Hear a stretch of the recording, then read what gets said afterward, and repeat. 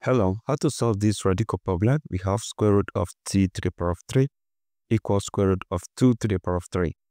We are solving for all values of t that satisfy this equation. Now, if you have square root of a, this is just like writing a power 1 over 2. So, square root of t power 3 is just like writing t power 3 to the power of 1 over 2. And this equals, we do the same thing here. We have 2 to the power of 3 raised to the power of 1 over 2. Now, look at it here. If you have a power n raised to the power of n, this is the same thing as writing a to the power of n raised to the power of n. So right now, this 3 here represents our n. This represents our n. This represents our n. This represents our n. So we apply this here, then transform it using this other part of the identity. So what we are going to have will be t to the power of a m comes inside, which is 1 over 2, raised to the power of 3 equals 2 to the power of this is 1 over 2 raised to the power of 3. So at this particular point, if you have a power 1 over 2, this is just like writing square root of a. Applying that here and here, what you are simply going to have will be square root of t raised to the power of 3 equals square root of 2 raised to the power of 3. So right now, the next thing we are going to do is move this over here. So we simply have this is square root of t raised to the power of 3 minus square root of 2 raised to the power of 3 equals 0. Now, at this particular point, we have power 3 here, we have power 3 here and this minus here. So we need to expand this. And we can only expand this using this cubic identity. If you have a power 3 minus b power 3, this equals a minus b times a squared plus ab plus b power 2. And in this particular case, a equals root t and b equals root 2. So what we are going to do next will be to insert this and this right here in this identity. So what we are going to have will be a, which is root t minus b root 2 times a square root of t raised to the power of 2 plus ab root t times root 2 plus b squared square root of 2 raised to the power of 2 and this equals 0. So from here, we have square root of t minus square root of 2 times this cancel this of t plus this times this square root of 2t plus this cancel this f2 and this equals 0. So at this particular point in time, I'm going to equate each of these to 0. The first one will be square root of t minus square root of 2 equals 0 also have t plus square root of 2 times t plus 2 equals 0. So what we are going to do will be to solve these individual equations. Now let's start with the first one, which is square root of t minus square root of 2 and this equals 0. So what we are going to do will be to solve for t. We move this over here. So we are going to have square root of t equals square root of 2, meaning that this eliminate this and we have t equals 2. So that is our t1, the first value of t. That is real value. The next step will be to solve this other equation. We have t plus square root of 2 times t plus 2 equals 0. So from here, let's isolate this square root of 2t. We move 2 over here. We move t over here we have square root of 2t equals, this is negative 2 if you move 2 over here, minus t if you move t over here.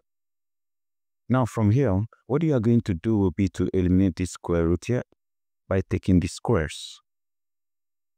You take the squares of both part of this equation. This cancel this. You have 2t equal, this is negative 2 minus t times negative 2 minus t. So from here, what going to do is you have your 2t equals let's expand this. Negative 2 times negative 2, that is 4. Negative 2 times negative t plus 2t. This times this plus 2t. This times this plus t power 2. So from here, we have 2t equals, this is 4 plus, this will give us 4t plus t power 2. So at this particular point in time, we move this 2t over here. We have 0 equals 4 plus 4t plus t power 2 minus 2t. Right? So you confirm everything is correct. Right? The next thing we are going to do will be to subtract 2t from this 4t. We have 0 equals 4. This is plus 2t plus t power 2. So let's rearrange it. We have t squared plus 2t plus 4 equals 0. So this is what we are going to solve. We are going to solve this quadratic equation and find the other values of t. So from here we have t equals negative b plus or minus square root of b squared minus 4 times ac divided by 2a. Now, this is the quadratic formula. So, 1 is the equation of t squared, that is our a. 2 is the equation of t, that is b. This is c. So right now, we are going to have t equals negative b, negative 2 plus or minus square root of b squared, 2 power 2, minus 4 times 1 times c, that is 4, divided by 2 times a, that is 2 times 1. From here, you have t equals negative 2 plus or minus square root of, this is 4 minus 16, divided by 2. From here, we have t equals negative 2 plus or minus square root of this is negative 12 divided by 2. From here, t equals negative 2 plus or minus square root of negative 1 times square root of 12 divided by 2. From here, we move this over here because there's no space. So what do we do? We have t equals negative 2 plus or minus this. Square root of negative 1 here is r.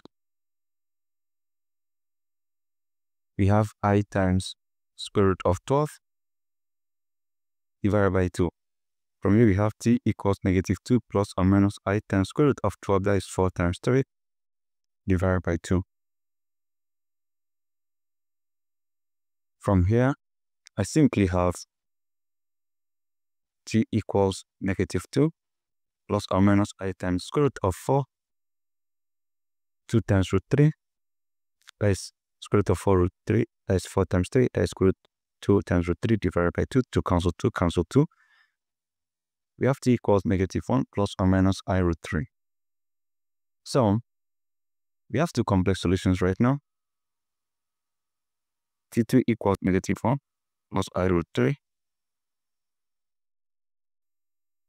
Then t3 equals negative 1 minus i root 3. So at this particular point, we have two complex solutions. And we also have one real solution, which is t equals 2. Okay, so that is this. So the next thing we are going to do will be to easily check by inserting the value of t. We have checked I have t equals 2. So I have square root of t power 3 equals square root of 2 power 3. Let's insert 2 for t we simply have square root of 2 power 3 equals square root of 2 power 3. So right here, I have square root of 2 power 3, that is 2 times 2 times 2. That's 8, and this equals square root of 8. Ladies and gentlemen, that is it, and a quick recap. The most interesting aspect of this is expressing this square root in terms of this exponent of 1 over 2. And from there, you apply the a power n times a power m rule. Then you move this 1 over 2 inside. Then you take the square root. From there, you expand using this particular cubic identity. After expanding, you solve the individual equation by equating each of them to zero. So that is a quick brief or review of what we did right there. Now, that is it. Thank you and goodbye.